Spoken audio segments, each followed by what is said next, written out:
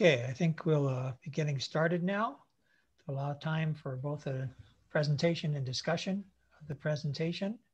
I want to welcome everybody back and wish you a happy new year. It's already been momentous for several reasons.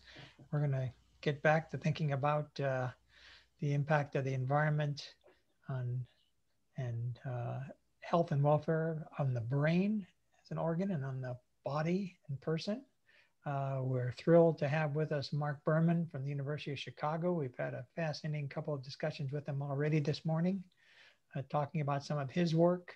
As you can see on the screen, he's got a number of titles I won't go through. He's also got a number of awards that I could also list for you uh, in terms of acknowledgement of his, his very interesting work in thinking about how to apply computational models and statistical models, bringing into his training from uh, psychology into neural uh, brain networks and thinking about how things such as green space and other interactions can affect the body and mind. Uh, we have a, a, lot of fascinating issues to discuss, so I won't uh, take any more of your time telling you all about Marc. I'll let Marc tell you all about uh, the work he's been doing and all about Marc. So please welcome Dr. Berman. It's all yours. Great. Well, thank you so much, Ed and Megan, for inviting me um, to, to speak here. And uh, I've really enjoyed my conversations with many of you so far and uh, look forward to sharing uh, some of my research with you now. Um, so I thought that just to outline today, I was going to talk a little bit about um, how we think about this field of environmental neuroscience and then talk about two particular applications of our environmental neuroscience approach. So one, looking at the effect of urban green space on mental and physical health. Uh, and then in another line of work, looking at actually how city size and how the infrastructure of cities changes as they get larger and how that actually uh, affects uh, mental health and in particular depression. So what do I mean by environmental neuroscience? Um, we certainly are not the first people to do environmental neuroscience. It's been been around for for a while. Um, it was interesting to learn that Megan's advisor at University of Illinois was Bill Greenough, who's um, one of my sort of heroes, along with Donald Hebb um, and Rosenzweig and people like uh, like that that did research um, mainly on non-human animals and how the environment um, and environmental enrichment uh, could change um, brain physiology. And uh, I was always really inspired by that work. And it's also kind of interesting to me why, um, sort of, when we looked at humans, we sort of failed to realize uh, how much the physical environment that surrounds us actually impacts our brains and our behavior.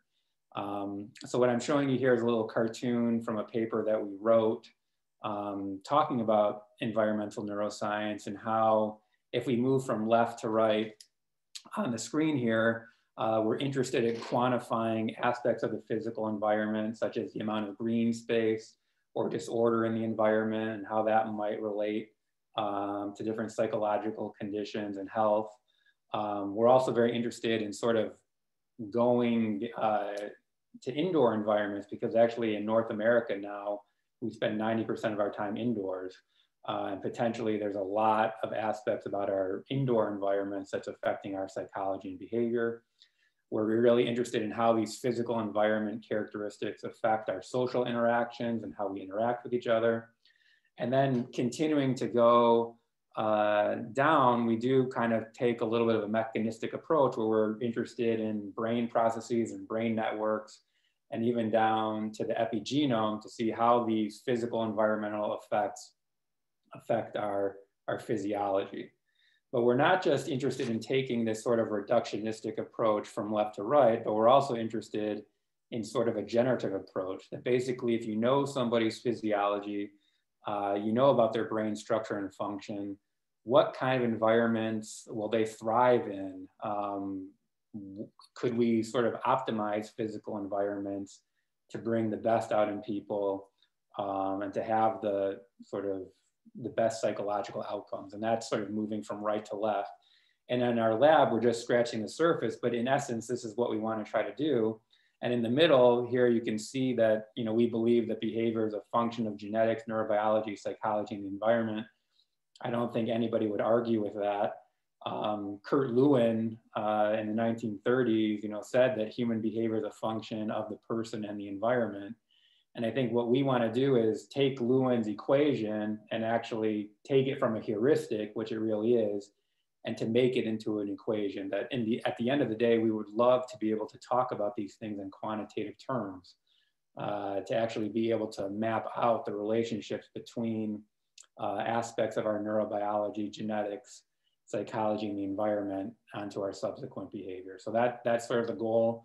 Uh, it's uh, it's a big goal. We're not going to be able to do it on our own, and and we're hoping that um, we can sort of build this field together to make a lot of progress here.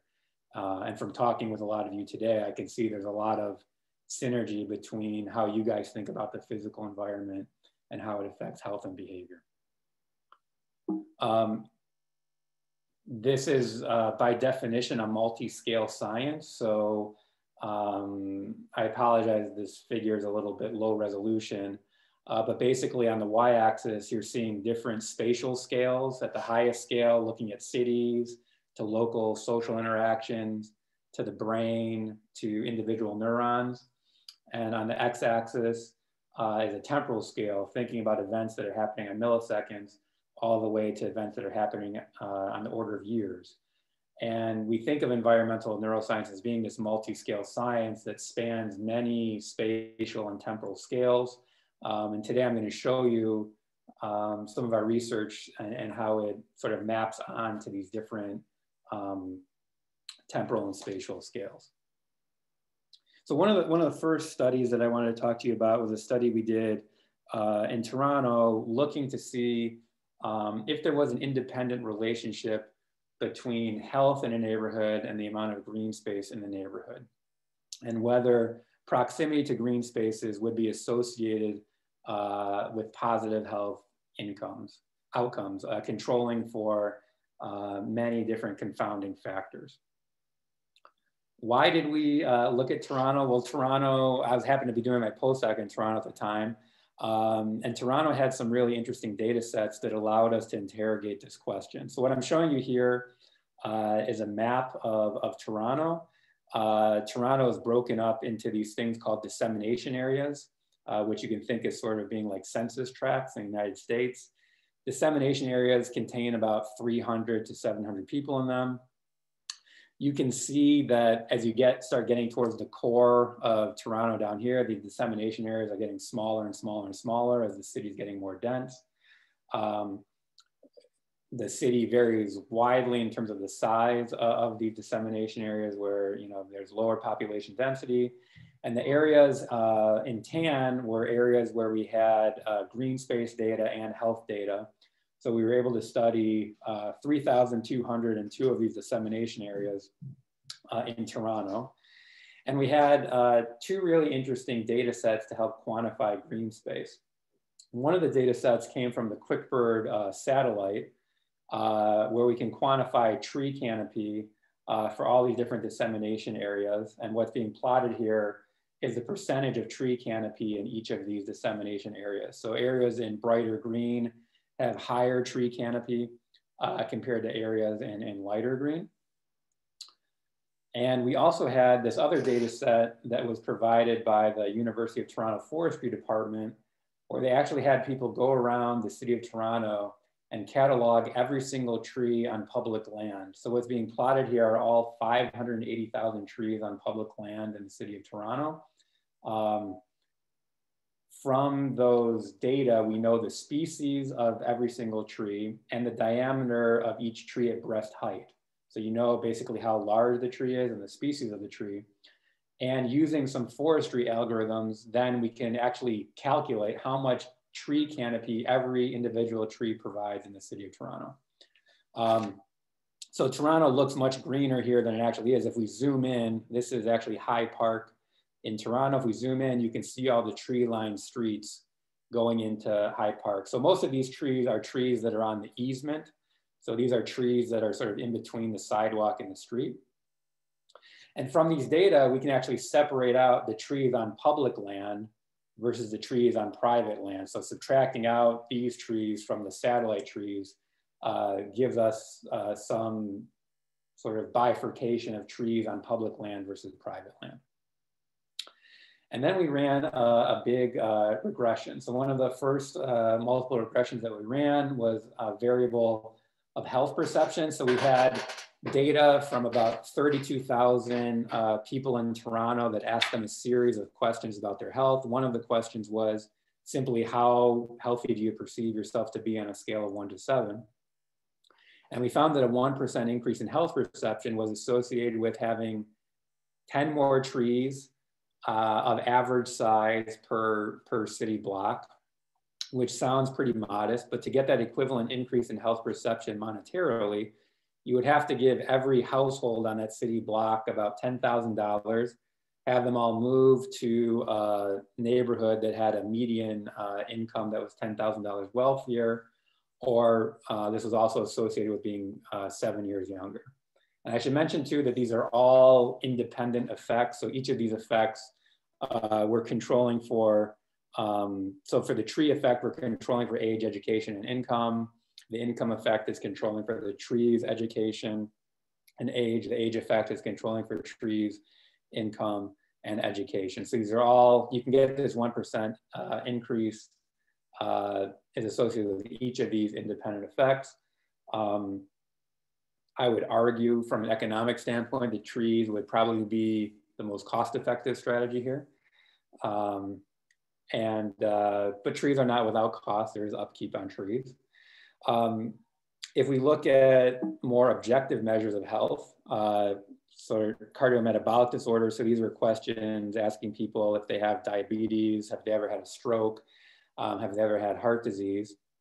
We found that a 1% decrease in cardiometabolic disorders was associated with having 11 more trees of average size uh, per city block. To get that equivalent decrease monetarily, you'd have to give every household on that city block about $20,000, have them all move to a neighborhood uh, that's about $20,000 wealthier, or be about one and a half years younger. Uh, and again, these are all independent effects. Of course, we can't claim causality here, right? So a bad case scenario would be that just healthier people choose to live in neighborhoods um, that have more trees. Uh, but those healthier people can't be more educated, they can't be younger, and they can't be wealthier. Um, so we think we have uh, some ideas about the direction here, but we cannot make strong causal claims here. Another thing that's interesting about this data set is because it was um, data in Ontario, where Ontario has uh, socialized healthcare, everyone more or less has the same healthcare, which is actually good. Um, but it also might mean that some of these income variables might be a bit inflated compared to the United States, uh, where in the United States, there's certainly a stronger relationship between uh, dollar and health than in uh, Canada. So we, we're, we're hoping to replicate uh, some of these uh, effects in the, in the US as well to, to get more uh, experimental control and not looking uh, at just observational studies, we've also run experiments where we actually have people uh, walk in nature, interact with nature versus more urban areas. Uh, so we did a study uh, in Ann Arbor uh, when I was in grad school where we actually brought people into the lab. We assessed their memory and attention with a difficult working memory task, a backwards digit span task. Um, we gave them a series of other cognitive tasks, and then we uh, gave them a map uh, and sent them a, on a walk in nature versus a walk uh, through Huron Street through Ann Arbor's downtown to see uh, for any changes in memory and attention after walking for about 50 minutes in nature uh, versus walking uh, 50 minutes in the urban environment. so these walks were 2.8 um, miles. So it took people about 50 minutes to complete the walk. Uh, we also gave all of our participants a GPS watch. So here are actually the GPS traces of some of our participants going on these walks so we could ensure that they didn't just go to Starbucks, that they actually uh, went on the walk. So participants came into the lab, we assessed their memory and attention. We sent them on a walk in nature or a walk on an urban environment. Uh, they came back to the lab, we assessed their memory and attention again. And then they came back to the lab a week later and repeated the whole procedure. Uh, but if they walked in nature the first week, uh, they walked in the urban environment the second week or vice versa. And what did we find? Well, we actually found uh, that people improved significantly on this backwards digit span task um, after walking in nature, uh, but didn't really show much of an improvement after walking in the urban environment. And this was a significant interaction. So people were uh, significantly improving their uh, working memory uh, performance as measured by this backward digit span task after walking in nature compared to the urban environment. Um, and if you're not familiar with the backward digit span task, basically you, you heard digits um, auditorily, so like five, six, seven, uh, and then you would need to repeat them back in backwards order. Uh, so say seven, six, five. Uh, at three digits, the task is really easy. At around five or six digits, it gets really, really hard. Um, and we went up to about nine or 10 digits. So people improved by about a digit and a half after walking in nature uh, compared to the urban environment.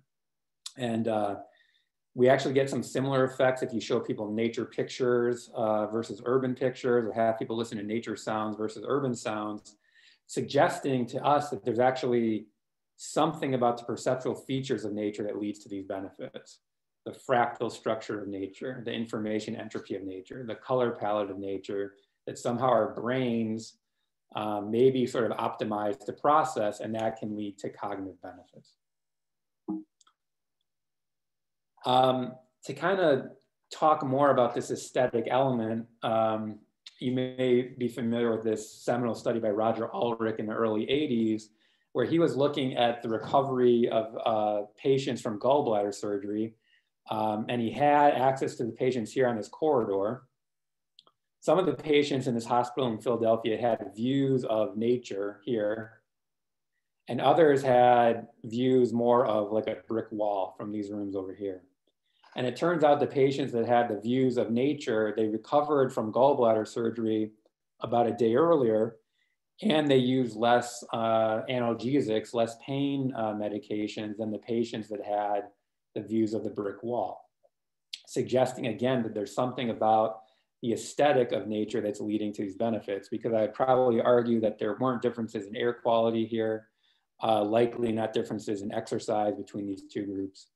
I should also mention too that the patients are randomly assigned to the room. So it wasn't like wealthier patients or younger patients had views of nature, they were just randomly assigned. But the fact that you get these effects just from a, a visual of nature um, has really got us interested to know, well, what is it about the visual patterns of nature or the acoustic patterns of nature that might lead to these benefits? So what we've begun to do with um, computer vision algorithms and machine learning algorithms is that we can take a scene and basically decompose it down into its low level visual qualities. So here's a scene of mixed natural urban uh, content. Um, it's actually a, a, park that I'll talk about later that we analyzed um, with some diary analysis, journal diary analysis. But we can take this scene with mixed natural urban content and we can quantify all the curved edges and all the, the straight lines in the scene. So all the green lines here are quantifying all the curved or non-straight edges in the scene. The magenta lines are quantifying all the straight edges in the scene. And from that, we can say, well, if a scene differs in the amount of curved edges or fractal structure, does that lead to changes in some kind of behavioral performance measure?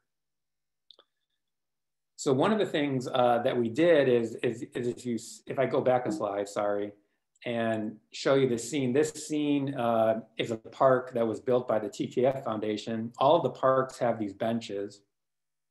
And underneath the bench is a journal uh, where people actually uh, write down some of their thoughts when they're sitting in these parks.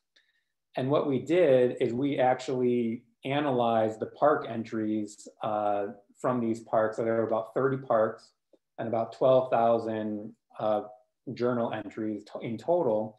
And we ran a LDA, uh, a, a latent Dirichlet analysis, which is sort of a topic modeling analysis on these journal entries. And we found 10 major topics that people sort of wrote about when they're in these parks. So one of the themes was about religion.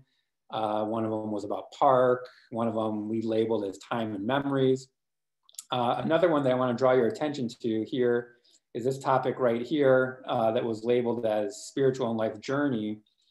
Uh, and we actually found that um, some of the, the, actual visual features of the park actually influenced uh, what people wrote about. So here's a, an example of journal entry of what somebody wrote about in one of these parks.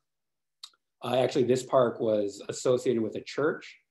Uh, here's a picture of the park. Here's the journal entry uh, that the person wrote. So cold day, hard to write, but I've been thinking often.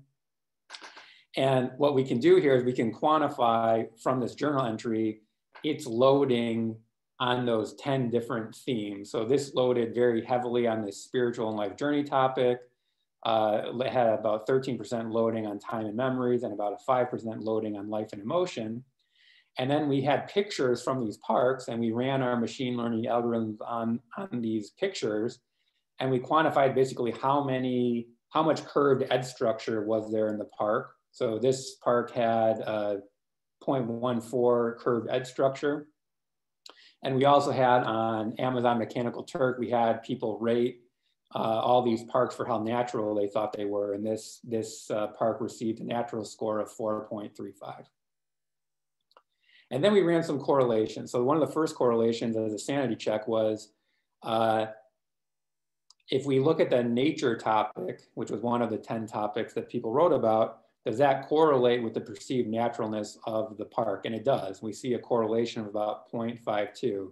So MTurk raters uh, who rated how natural the park were, their uh, naturalness ratings correlated with people who are actually in the park and what they wrote about. so people that were in these parks that were rated as being more natural actually wrote more about themes that were related to nature. So that was one of our first sanity checks. But we found something kind of interesting, which is that if these parks had more curved edge structure that we actually quantified with our computer vision algorithms, uh, people wrote more about topics related to spirituality in their life journey. So we found this association between how much curved edge structure there was in the park with how much people thought about the spiritual and life journey topic to get more at causality, we actually uh, decoupled um, or manipulated the amount of curved edges in an image and the naturalness in the image. So for example, moving from left to right here, these images on the right have the same amount of uh, curved edge structure and they have more curved edge structure than these, but these images are rated more natural on the top here than these images down here. So we have like a two by two design. We're manipulating um, the amount of curved edge structure and also the naturalness of the images because there actually is a confound that uh, images that have more curved edge structure people think of as being more natural. So what we did is we created uh, these sort of piles of images that had uh, equal curved edge density, but one was more natural and one was less natural. Um, these images here, this has less curved edge density than this image, but they have the same naturalness rating. So we could decouple these two features. And then what we did is we showed people uh, a single image online and asked them which one of these um, sort of thought clouds goes the best with this image. And what we found is that when the images were more natural or rated as more natural, uh, that predicted people picking the, the thought cloud that was related more to naturalness. So that was another sanity check. Um, but what was even more interesting is that uh, the images, if they had more curved edge structure, people were 1.6 times more likely to pick the topic that was related to this spiritual and life journey topic from before. So um, this sort of gave us some sort of causal evidence that maybe having more curved edge structure and image does cause people to think more about spirituality in their life journey. To get, uh, to get even crazier, we said, well, do you even need to know what the image is? Can you get these effects just from the low level visual features? So we had in the lab, we've created um, an algorithm where we can take an image and decompose it into its low level visual features, but then scramble it. So this image right here is a scramble of this image up here. It's got the same number of curved and straight edges as this one up here, but you don't really know what it is. And it turns out that if you're exposed to images like this that have more curved edge structure versus less, even though they're completely nonsensical images, you're still one and a half times more likely to pick the spiritual and life journey topic if you see images that have higher curved edge structure, even with no semantics. Um, so that's signaling to us that um, this may really have to do with some relationship between these low level perceptual features and, and thoughts, which is um, pretty interesting that um, just seeing this kind of Jackson Pollocksy kind of um, image uh, that doesn't really have any semantic information um, leads to reliable um, predictions of, of what people will be thinking about. In this case, these spiritual and life journey topics. Okay, maybe I'll maybe I'll pause here for a minute just in case anybody has a question. Otherwise, I'll I'll, I'll just keep barreling through. I had a quick question about um, in the beginning when you were doing the um, the satellite of or I or I guess when people were going around and rating and you had like the on um in I forgot this in Canada. Toronto, yeah, in Toronto. Yeah, yeah. Toronto. Um, so are were the surveys done at the same time in 2006 when you had that data or is it at a different time point when you get the survey data from the participants and if it's at different times how do you yeah. I guess yeah, they were at, they were at different times. So the satellite data was from 2006. The health data was from 2010. And I think the individual tree data was from around 2009. Um, it's not ideal. Um, there's not a lot of huge change in green space, you know, over that over that time period. So I'm not too worried about that. But I think um, moving forward, that's actually something that we're kind of interested in is actually having time series data. This will mm-hmm. also help us with causal claims that if we see some change in green space, do we see that um, concaminant change in um, health? Okay.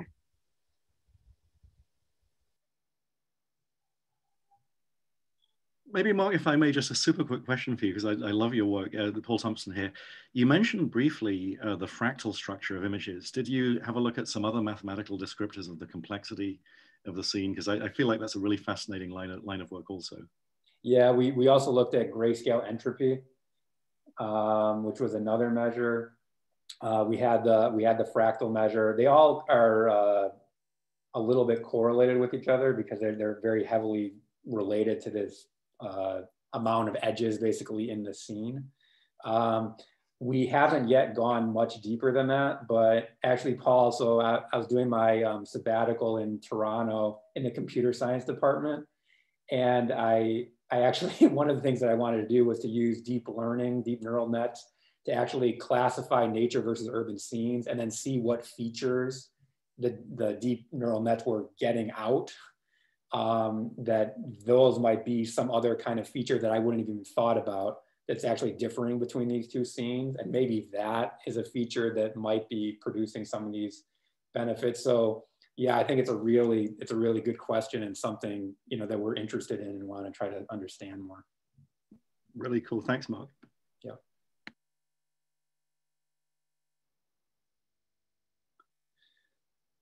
So, so, one other things that um, we think about in the lab too is that uh, we think that um, nature, when we interact with nature, it can sort of um, restore or replenish um, cognitive resources, and in particular, a resource that we call directed attention, or that might be called top-down attention, which is sort of our the attention that we use um, when we're in class or when we're working. This sort of human ability to to direct our focus on some kind of task um, even if it might not be the most interesting task in the world.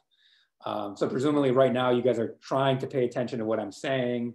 Um, it's taking directed attention to do it. Um, And we think that that ability to direct attention is fatigable or depletable, that you can only direct your attention for so long before you become mentally fatigued and you can't do it anymore. And I see this all the time, you know, the first five minutes of lecture, people are pretty engaged. And then about 45 minutes into lecture, I see a lot of head nodding back because people just have a hard time directing their attention. They get mentally fatigued. And we think that kind of attention is sort of different than involuntary or bottom up attention that's automatically captured by interesting stimulation in the environment. So we think what's going on is that when you interact with nature, you're not placing a lot of demands on directed attention while sort of activating this involuntary or bottom up attention. And that allows you to sort of replenish this um, directed attention resource. And we think this directed attention resource is also critical, not just for working memory and executive functioning, but also for self-control. That when you become mentally fatigued, you're less able to sort of control impulses, uh, which actually might lead to more aggressive behavior. So there has been some interesting work um, from Ming Kuo and Bill Sullivan. Uh, they did these studies in Chicago uh, where they looked at uh, public housing projects in Chicago. So this is from the Ida Wells Public Housing Facility uh, in Chicago. So here's an example of a poor nature view from the Ida Wells uh, Public Housing Facility. Here's an example of a good nature view. So they actually looked at the views from these different apartments uh, in these public housing projects.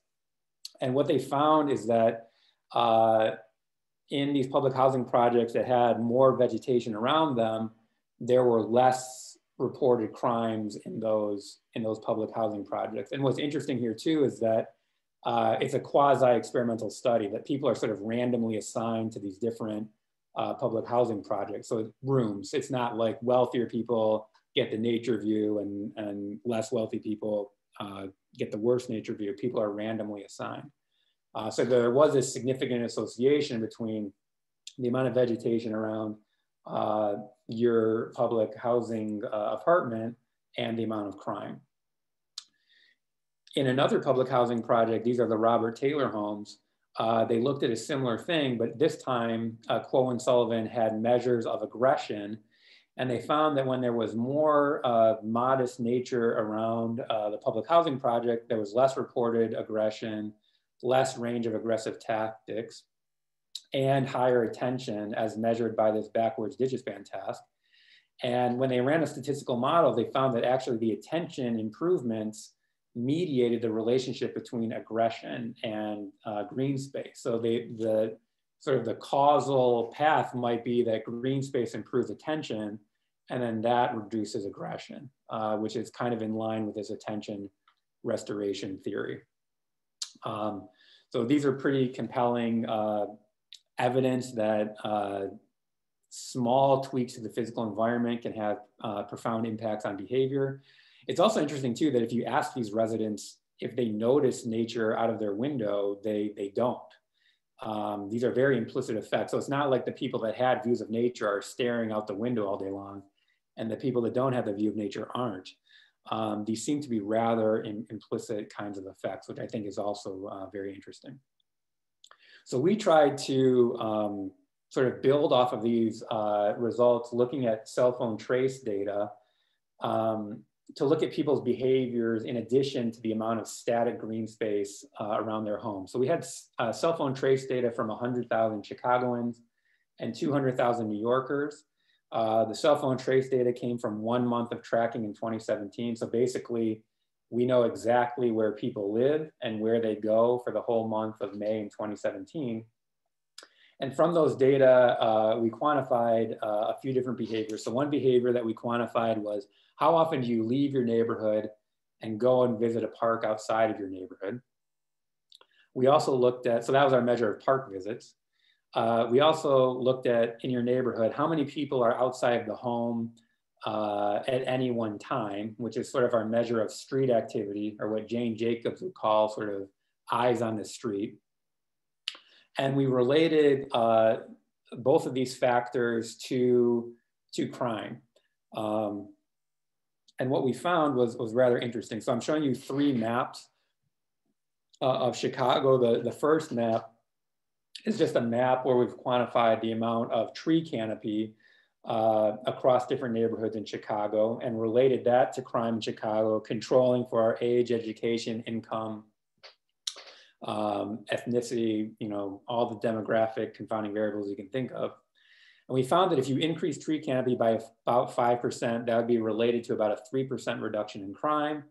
Um, to look at that economically, to get that equivalent uh, reduction in crime, you would need to take 9% of the population out of poverty.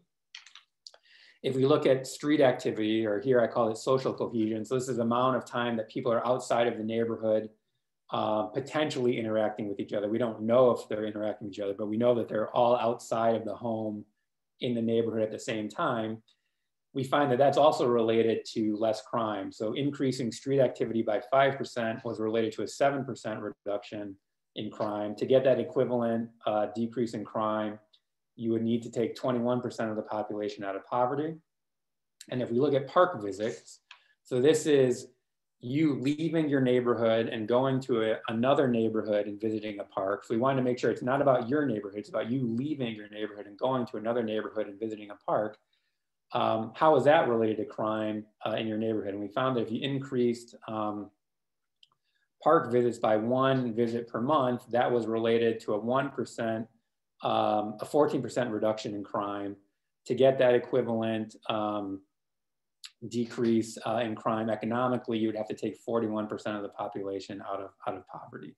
So uh, again, correlational, but pretty significant effects of uh, this intentional interaction with nature on uh, crime in your neighborhood.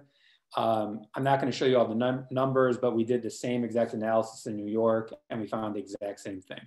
Um, that all these variables were also related uh, to reductions in crime. so just to, to give you an interim summary here. So uh, we find that interactions with nature, even if they're quite brief, can have significant effects on mental and physical health. Um, the nature exposures can even be simulations, uh, pictures, sounds, uh, just looking out the window, uh, and even perceiving some of just the low level features of nature uh, may be salubrious to psychological functioning, like just the curved edge structure, uh, the entropy, the, the fractalness, devoid of the semantic content might have some of the same effects. Uh, we've also collaborated with an architect, Alex Coburn, um, where we looked at building facades and building interiors and if buildings that have no nature, but if they have more fractal structure, so you can imagine a Gaudi building in Barcelona, which has a lot of fractal nature, fractal patterns, uh, a lot of curved edge structure that mimics the patterns of nature. People prefer those scenes and rate them uh, as being more natural. So the question is, can you even get some of these effects even just from architecture? So one of the things that we're very interested in is, can you improve cities by incorporating natural elements, having you know more green space, more trees, but also actually even changing the architecture of the city. Okay, and in the last last part here, I wanted to kind of talk about something a little bit different. It's the physical environment, but it's not green space per se. Um, but looking at how cities change as they get larger, uh, how that affects our social networks and how that might affect depression incidence. So um, there, there has been a lot of work on uh, sort of the infrastructure networks of cities, how that impacts our social networks and how that impacts a whole host of different um, metrics like GDP and innovation and things like that. But we are interested in seeing, okay, how does the infrastructure of a city change as it gets bigger and how might that influence uh, depression incidence. So there has been uh, you know, quite a bit of work on social network determinants of depression, um, that the risk of depression is inversely proportional to social connectivity. So if you're if your social networks are sort of richer, if you're connected to more people, uh, you're going to be less likely to develop depression and that depression tends to cluster on the periphery of networks, that uh, people that are more susceptible to depression are not sort of these central hubs of social networks. They tend to lie on the periphery of, of social networks. Um, so we aim to, to sort of look at this, look at depression at a city level Um, and our measure uh, was for the population of a city, but, but where does a city end or begin? Well, we use something called a core-based statistical area or a CBSA. Um, so what a CBSA is, it's one or more counties um, that are associated with a city um, that are sort of socio-economically tied and tied by transportation and commuting patterns. So for example, uh, we didn't just look at Chicago, we looked at Chicago CBSA, which, in, which includes Naperville, Elgin, uh, which I'll show you in a moment, and 15 uh, counties across three different states actually. So here's, here's what the CBSA of Chicago looks like. So it's not just Cook County here that has about you know 3 million people. It's this whole area here uh, that includes you know Kenosha, Wisconsin, uh, Elgin, parts of Indiana. It's got about 10 million people here. And uh, Luis Bettencourt, one of my colleagues at the University of Chicago, he's uh, developed uh, with Geoff West um, these urban scaling laws. So how do things scale as cities get bigger? So one thing here, um, this is looking at uh, the amount of road that you have in a city. And it turns out that as cities get larger, you actually get less road per capita than you would expect by population on its own. So there's some economy of scale. So what that means is that um, you, you don't need as much road per person as cities get larger. Um, so instead of, if, if you look at Chicago versus New York, um, New York is about double the population of Chicago, but New York does not have twice as much road length as Chicago. It only has uh, uh, 0.84 uh, a 40, an 84% increase in road length, not a 100% increase in road length, um, which is also why New York is more congested. Um, if we look at GDP or gross domestic product um, per capita, we find superlinear scaling. That actually as cities get larger, uh, so looking at, let's take Chicago versus New York again, uh, New York doesn't have 100% or just a pure doubling of uh, per capita GDP. It's got this extra 16% increase uh, in GDP per capita. So there's something as, as cities are getting larger, you're getting actually this sort of exponential uh, growth in GDP per capita. It's not just a one-to-one -one, uh, relationship. Now, this is good in terms of GDP. Uh, there are negative things like crime. Crime actually also grows super linearly as cities get bigger. And part of the thought here is that it has to do with social networks, that when cities get larger, um, I'm going to focus here, the social interactions per capita also get larger, that you're, you interact with more people uh, as cities get, get larger uh, in these exponential ways.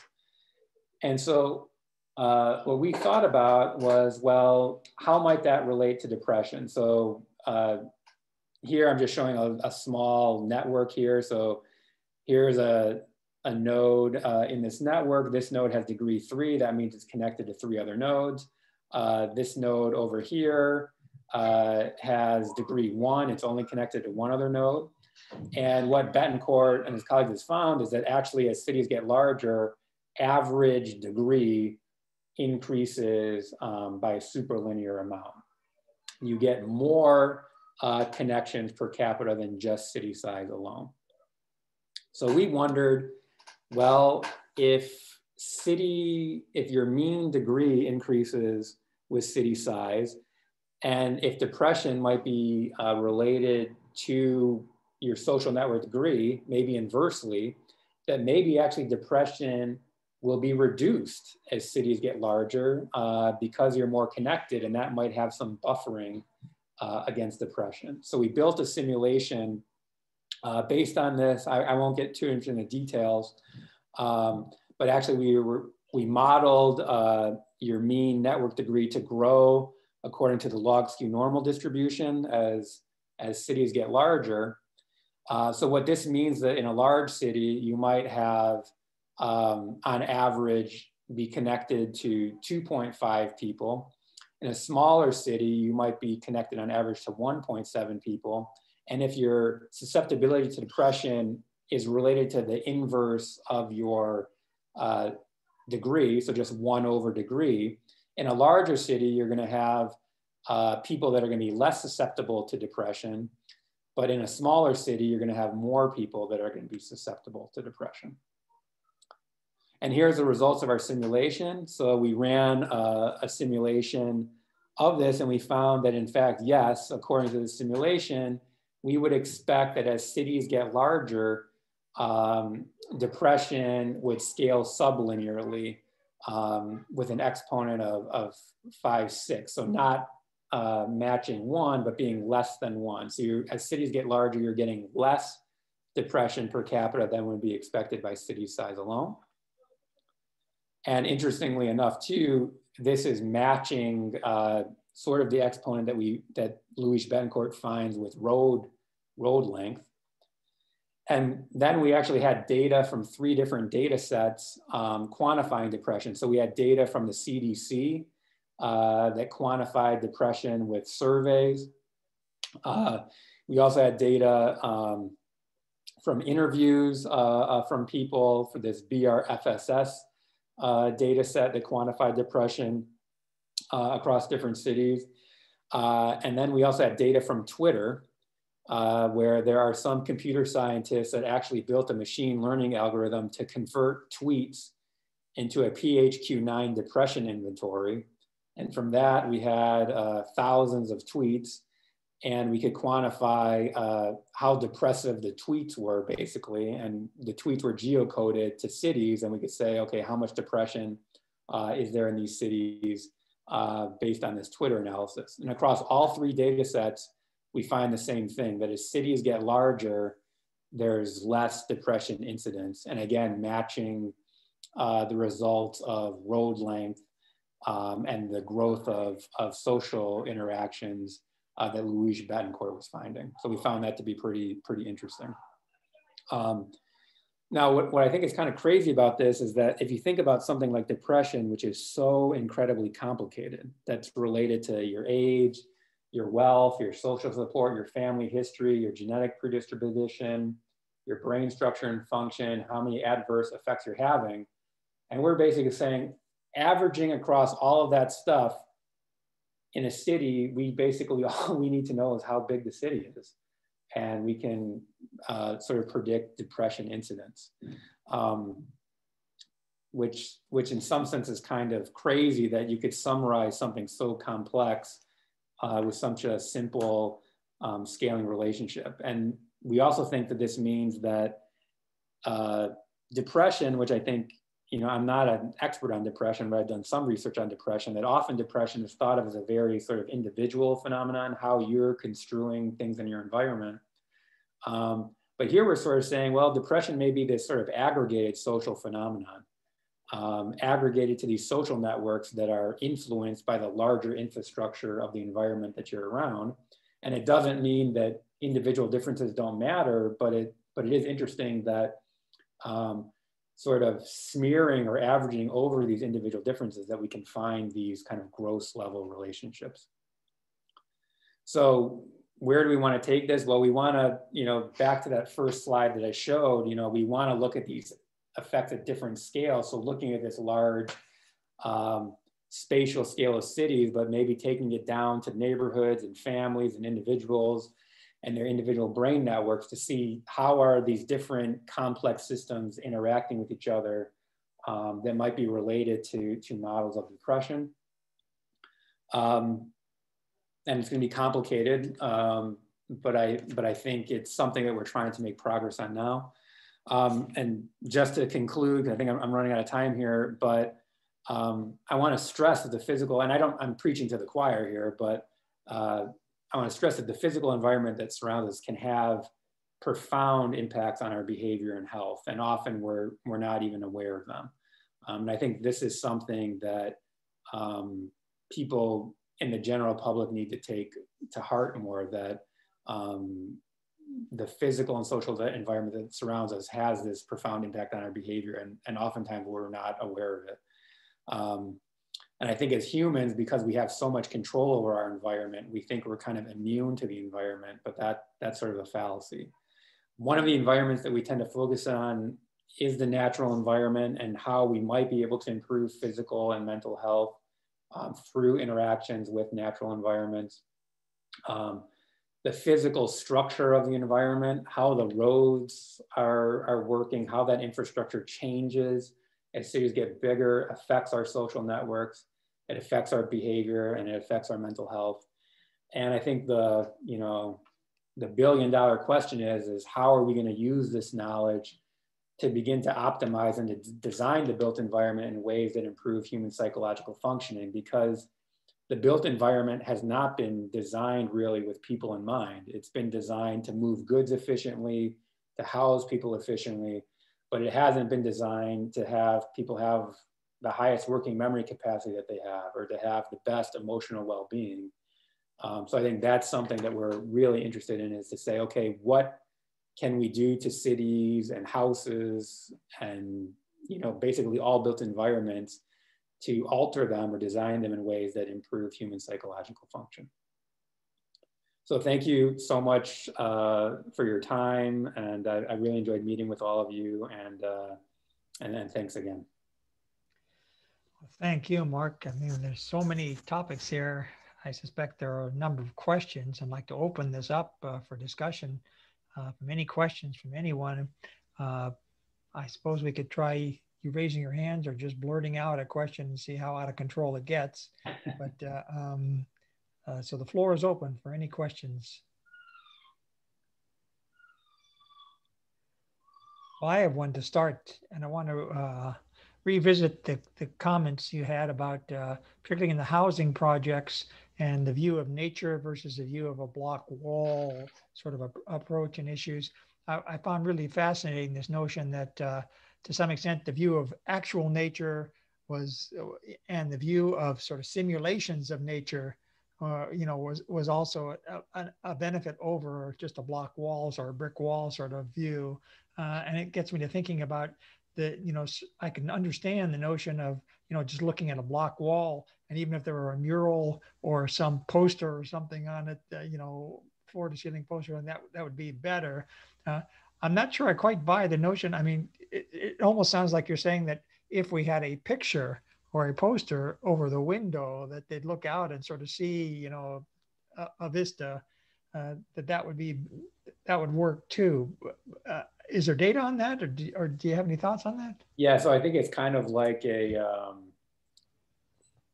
I don't know if I don't know if a Russian doll is the right example, but um, you know, a picture might be better than nothing the window outside to nature is better than the picture.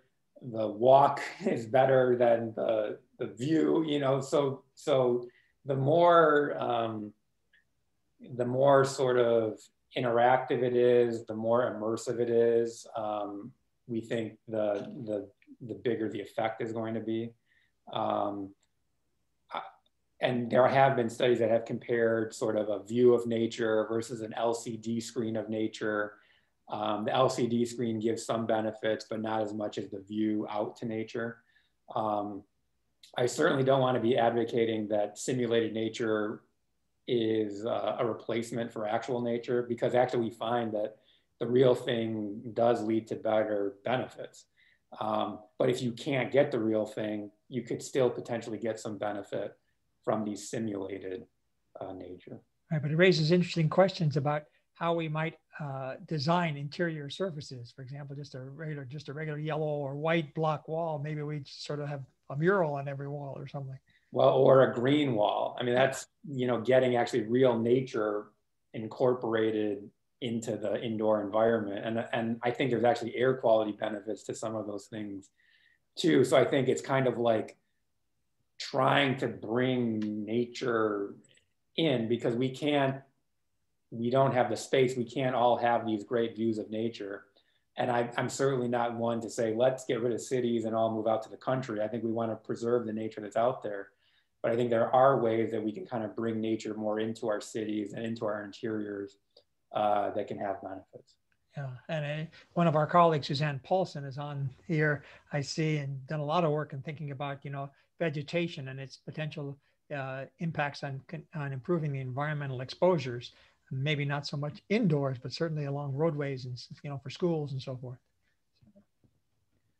Yeah, um, yes, thank you for thank you for calling me out, Ed.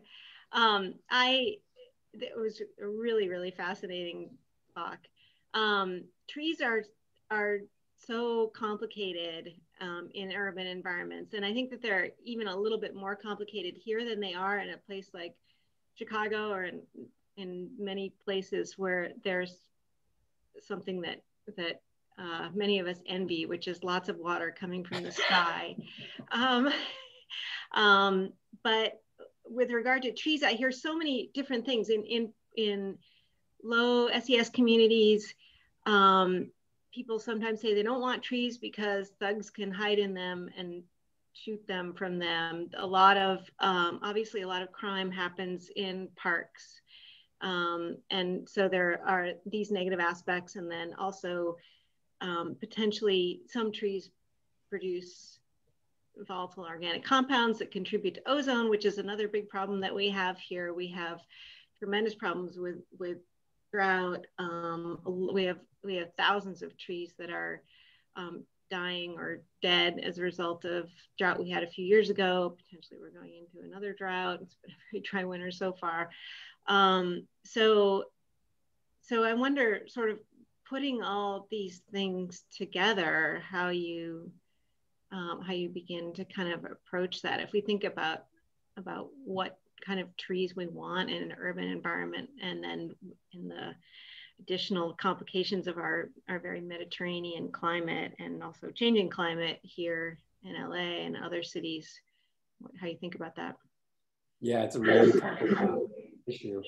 Um, you know, so I'll, i guess I'll start with the, the park one and, you know, maybe uh, some communities being resistant to, to getting increases in green space. I think that's a, that's a big issue and we don't want to be paternalistic in our work.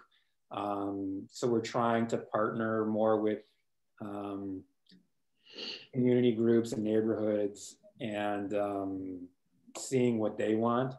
Um, and trying trying to go from there. A, a, lot of times too in those neighborhoods, they they maybe have a park like you said, but it's not safe to go to the park.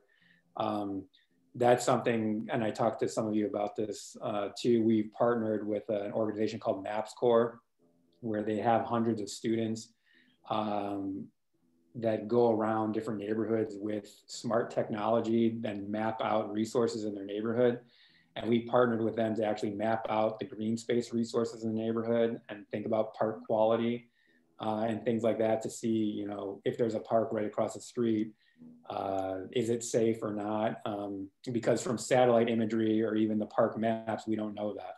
Um, so getting that information would be really, really important. Um, yeah, the Chicago tree canopy is going to have quite different needs than the LA uh, tree canopy. So for example, in the Midwest, we've had to fight with the emerald ash borer bug that basically killed all the ash trees. So there's, you know, we shouldn't be planting ash trees because they're not going to make it. um, I think needing with the biodiversity of the location is a good place to start. So native species probably are going to do a lot better. Um, than, than non-native and taking all the ecology into account. Um, but yeah, it's, it's, it's, it's really, really complicated. So in Chicago, they have the opposite problem. They're using green space to control water and flooding. um, and and LA is going to have a whole other host of different problems. But I'd, I'd be hopeful that you know maybe there there are some vegetation species that that don't require too much too much water that can still be maintained. But you also need community buy-in, and, and we actually find too that you can map out like 311 calls for um, tree, you know, repair and stuff like that. And neighborhoods differ in terms of how how much you know people are sort of looking after the trees. And but then that gets into the deeper issues too about whether people trust you know that the government is going to do anything if they if they make a complaint so these are really really complicated issues that we're, we're trying to kind of sift our way through. Other questions from the from the uh, attendees?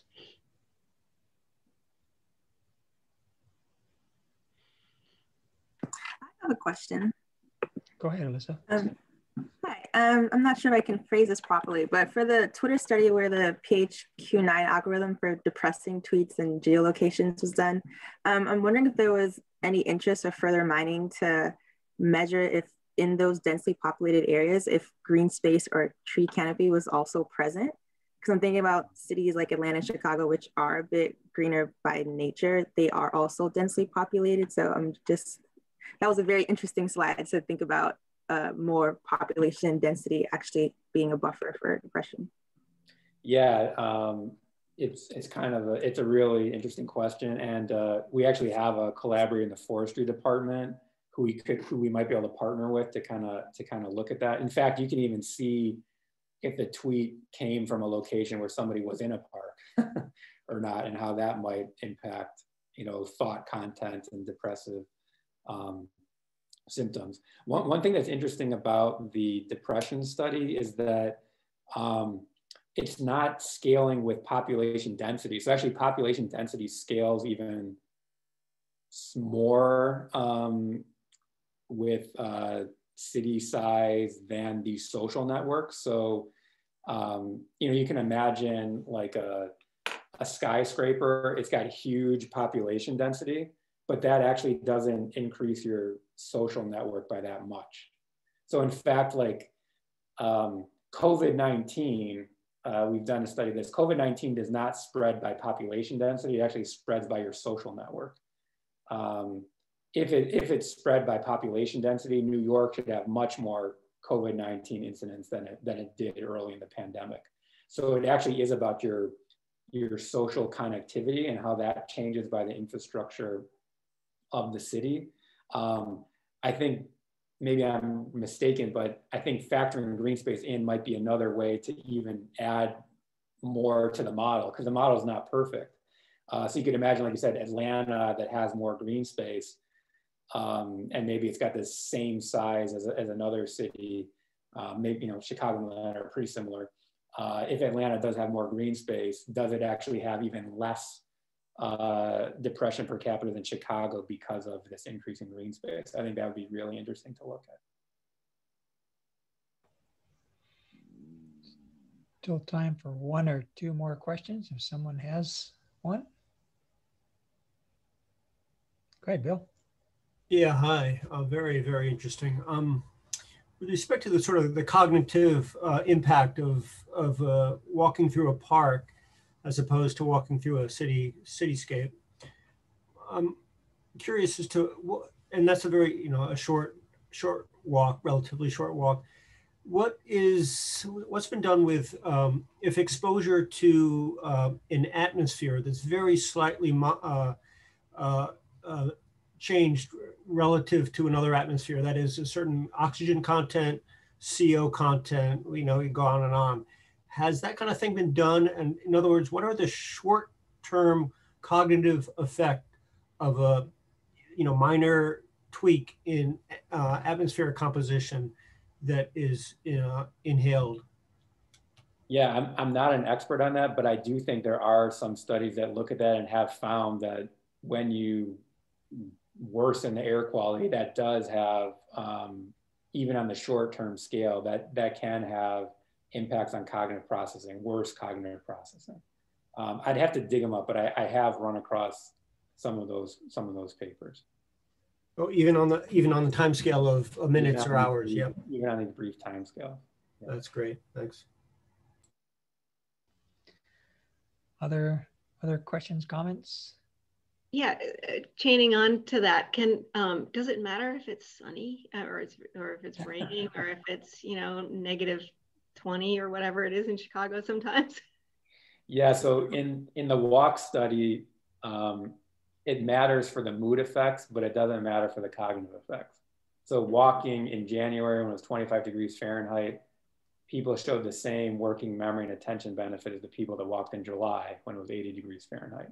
They didn't like the walk as much, but they showed the same cognitive benefit.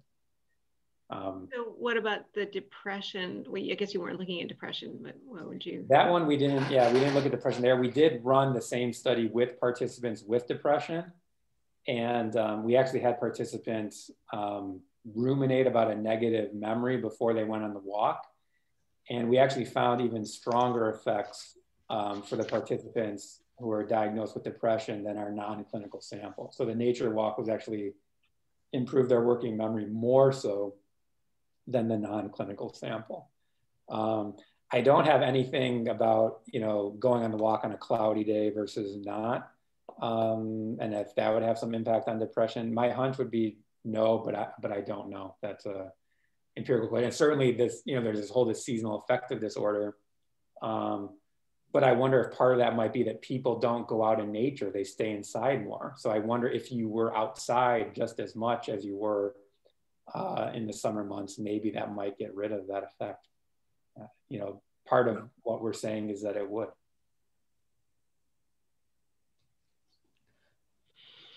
I have a, a follow-up question, Marc. I'm turning in my head, you know, this this idea, some of my work has looked at exercise in the adolescent brain as well, without the environmental context. I'm wondering, has there been any studies to suggest like the, going back to other people's questions about interior aesthetics, like in terms of, you know, if you were to run in a gym that had lots of, you know, an atrium in it, has anyone tried to create kind of that context of aerobic fitness, which we know is good for mental health, but also making those gyms less sterile. Has that been anything that you've seen people talk I'll, about? I'll have to I'll have to dig it up, but I definitely saw a paper where like running on a treadmill, people ran longer if it was like if they were watching, you know, those like bikes where you can like bike on a nature trail or urban one. You like biked or ran longer if it was nature versus urban. Um, but nothing where they kind of tried to make the gym more feel like. I have not seen. I have not seen that. But that yeah. you know, I have not seen that. Um, but but that would be my my hunch is that if it's more pleasing, yeah, uh, with this nature element, that that people would exercise more. Longer, yeah. Longer, yep. Any? I have a. Yes, Oliver, please go on. Yeah, so mine's not really a question, but just some um, updates of similar work that we're doing here at the University of Southern California.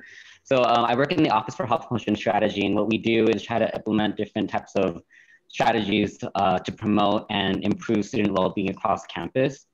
And this past year, we included a new module of um, subjective subjective findings of students and how they perceive nature on a college setting. And if you know, in Los Angeles, it's pretty much metropolitan, so it's a more urban setting.